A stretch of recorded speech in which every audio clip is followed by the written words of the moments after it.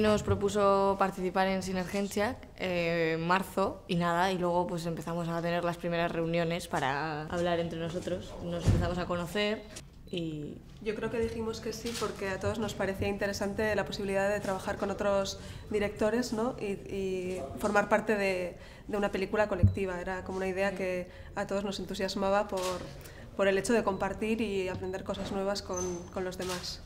Pues eh, bueno, diría que, o sea, entre nosotros sí que nos conocíamos de antes, eh, entre algunos, y, y con los que no, pues ha sido ese proceso de conocernos. Sí, o sea, nosotros al principio empezamos a quedar porque la, o sea, la película, o sea, ser colectiva, que queríamos o bien crear una metodología de trabajo eh, que fuera colectiva y que, bueno, y que evidentemente pues el tema tuviera que ver con ello.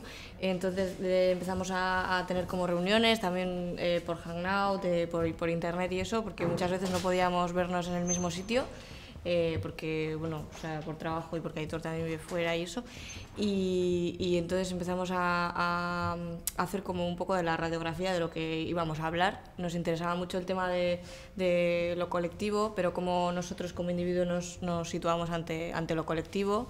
Y, y, y, bueno, y con eso pues empezamos a, a pues como hablar de, de situaciones y de cómo queríamos como, como como contar cada uno desde, desde nuestro punto de vista, pues eso, perdón, hacer como, como una historia.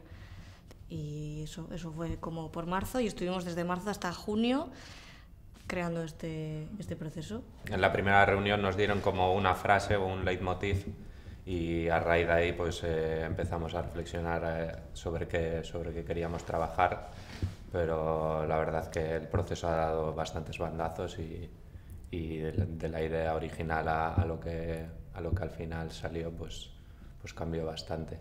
La dificultad era encontrar un poco un punto en común, de qué queremos hablar los cuatro que nos interese en un proyecto común. ¿no? Entonces fue un día que, descubrimos que, eso, que, este proceso colectivo ya nos, creaba conflictos personales, ¿no? de cómo nos veíamos dentro del grupo, eh, de cómo nos sentíamos. Entonces ahí es cuando decidimos, ¿por qué no hablamos de esto? Pero llevándolo eh, más allá de, del trabajo en la película, en nuestra vida cotidiana y cómo vemos la colectividad en... Bueno, anariren e, kantu batekin hasten da pelikula eta azkenean kantu hori bera izan da e, pelikularen titulua, ez? Az, e, azkenean e, pelikularen gaia izan daiteke edo muina e, norbanakoak kolektiboarekiko hartzen duen distantzia eta anarik esaten du momentu batean e, ausentzia kendu nahi baduzu, distantzia kendu, ez? Eta hori igual da gure gonbidapena e, nahi baduzu taldearekiko dist, e, gertuago sentitu, pues, distantziak kendu behar duzu, ez? Eta, bueno, hori izan da gai azkenean, distantzia.